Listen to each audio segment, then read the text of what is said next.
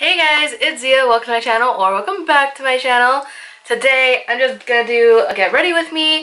Um, I'm just going for really simple makeup. I'm gonna, I can't even talk. Gonna be using my Makeup Forever, what is this called? Matte Velvet Skin uh, Powder Foundation. Since I'm using a um, powder foundation, I'm not gonna prime the same way because I don't feel like it works as well.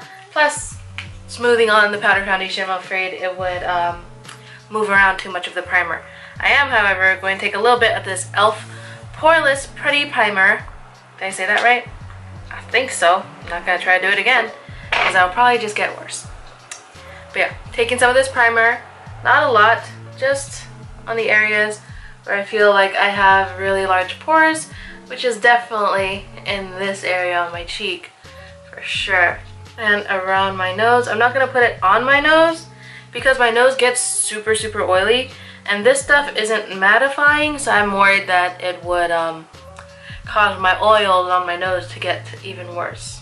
Those are the areas with the biggest pores. Next, I'm going to move on to concealer. And for my concealer, I'm going to use the Tarte Shape Tape Concealer in this in this in the shade 22B Light Beige. I usually use Light Sand, um, but I did go to Ulta and picked up a darker shade. Sometimes I feel like when I wear my light sand one, it looks so light to the point where my under eyes look a little old.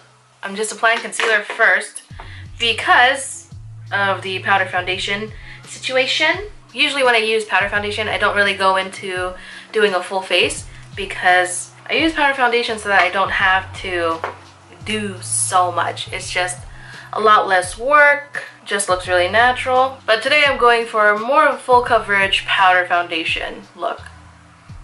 Oh yeah, this is a good color. It's not too light. The other one is quite a bit lighter. Next I'm going to use my Airspun powder to set my concealer in place. Well, that's bright. Okay. so, actually going to dust the majority of this away because I don't need it to sit on there very long. Just going to gently, very gently pat it away, looking more and more natural. Now I'm going to move on to my foundation. In case you haven't heard about this, uh, when you use the sponge for this foundation, foundation, uh, you use the black side for full coverage and the white side for more of a natural coverage. Since I'm going for a full face, I'm going to use the full coverage portion of the sponge. Even using this as a full coverage powder, it still looks really natural. Like it doesn't look overdone, it doesn't look cakey. What is Oh, okay. Brows. I'm gonna do my brows off camera because that's gonna take some time. Brows are on, I am back. I don't know what's going on with my brows. Every time I try to do them, this one comes out really good. This one just isn't. I think I have to like actually groom them a bit and change how they sit. I don't know. I'm going to prime, prime my eyelids using the NYX eyeshadow base uh, in shade 3. I'm going to take the color S'more, the lightest shade here. I use this to set my, what you call it, what is this called? Eyeshadow base. I keep forgetting words. I'm going to add a little bit more powder underneath my eyes just in case I get a bit of fallout.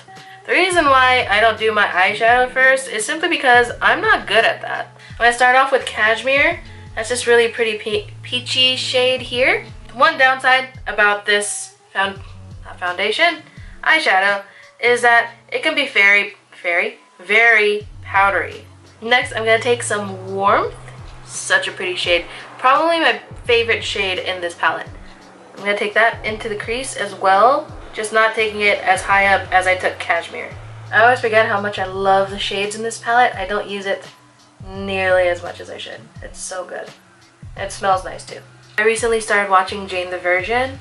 It is so good. It's such a great show. When I first heard about it, I really wanted to watch it, but I never got a chance. So now I think this, the show is completely over after five seasons, and I'm starting right from the beginning, so it's to take me a while to get through this show. Alright, the next color I'm going to add in is Latte. I'm staying with lighter colors right now because I don't really want to go too dark on my lids today. warmth got covered up a little bit. So I'm just adding a little bit more of that. I'm going to take a little bit of Cozy. Add that right on the outer corner.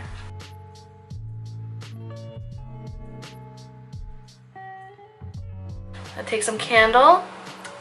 I'm gonna add that onto my lid. Just to have a light wash of it on there. Kind of brighten things up. I'm gonna put it on the whole lid up until the area where uh, Cozy starts.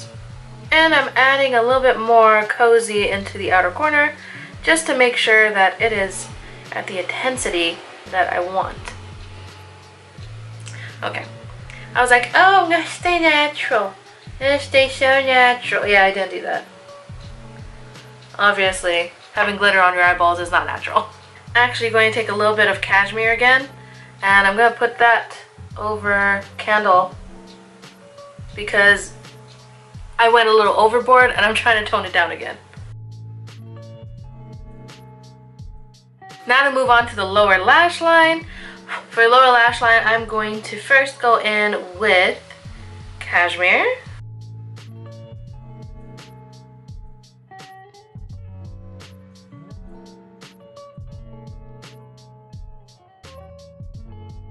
And now I'm going to take some warmth. I'm applying that on the outer like three quarters of my eye.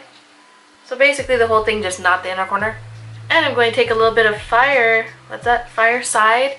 That's the darkest shade in this palette. I'm going to just take a tiny little bit of that right on the outer corner, the top and bottom. That just adds like the perfect amount of depth and a little bit of lift too if it's applied correctly. Gonna take a tiny little bit of Cozy and I'm gonna use that to blend the edges of uh, Fireside a little bit.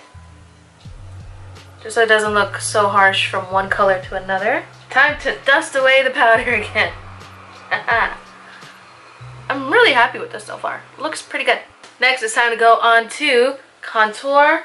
So as for usual, Kat Von D Shade and Light Contour Palette, like I use anything else. I think I'm also going to add some bronzer today. Maybe? We'll see.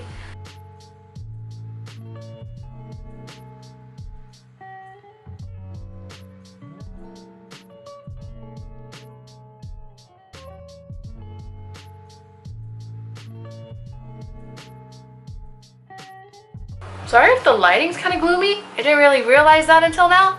Um, quite foggy outside.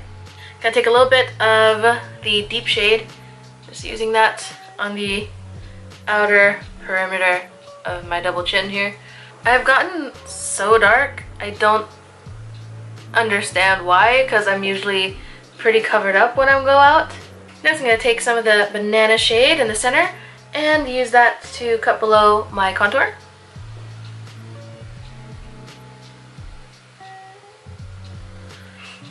I do this just to make sure I can clean it up a bit because it looks a little unfinished or a little sloppy um, when I don't do this. I just like the effect better. On to nose contour. So I'm going to take the light shade and I'm going to use that to contour my nose.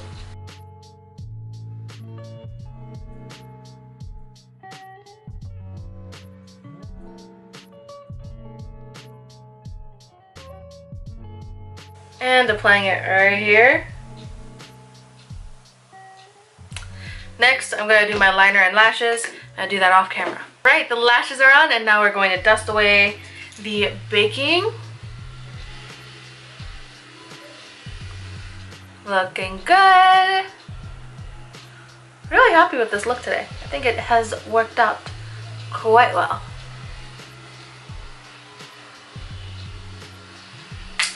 Now on to blush and for my first blush, because I'm going to be putting on a few today just to kind of help sculpt everything.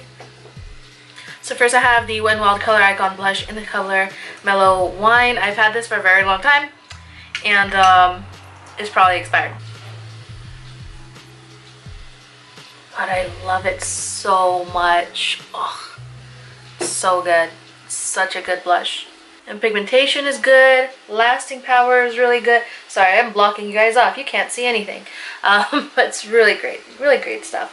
I would suggest buying it, but I did hear that uh, Wet n Wild isn't cruelty-free anymore. Um, I don't know if that's completely true or not, but until I have more information about it, I'll hold off on buying it, buying anything else from Wet n Wild. Next, I have the Milani blush. This is in the shade Tea Rose. This one is really, really peachy and somehow kind of luminous. I don't understand how um, because it doesn't look like there's anything in it, but it, it just looks really, really nice. Using two different shades of blush adds more dimension, which is why I am doing so. And onto the Laura Geller Blush and Brighten in the shade Pink Grapefruit. This stuff is so nice. It's this very shimmery blush slash blush topper.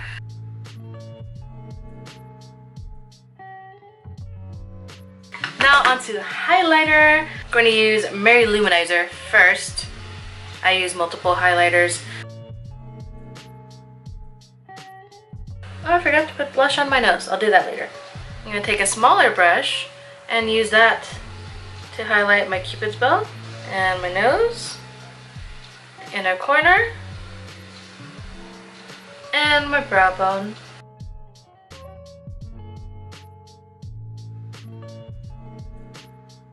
Next I'm going to use the e.l.f. Um, Heart Defensor Highlighter Duo. I'm applying that right in the center.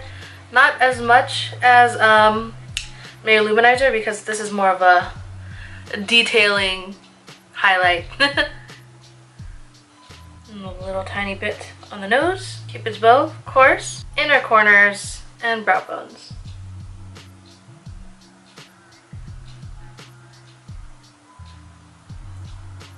Gonna go back into the peach blush, tap this out a lot, and this is what I'm gonna apply to the nose.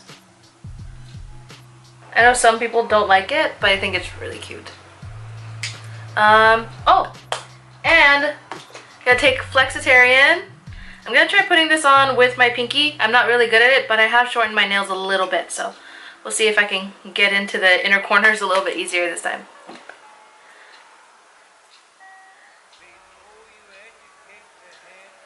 Still really hard. My nails are still long and it's very bright, so I think we're gonna stop there with the inner corner highlight.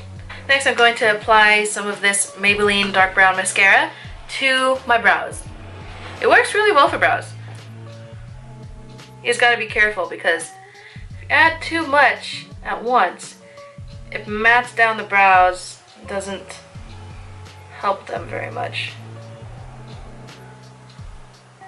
So, gotta do this with a very light hand. Time for lower lash mascara, if I can find it. Found it.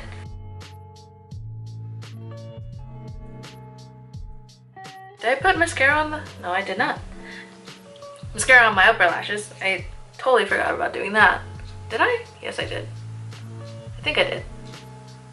I can't tell, to be honest. And I don't remember. Is anything else? I feel like I'm forgetting something other than my lips. But I think my lips are the last part. So, on to lips. I have this Wet n Wild Gel Lip Liner in the color Bare to Comment. And I'm just going to use this to line my lips and fill it in a little bit.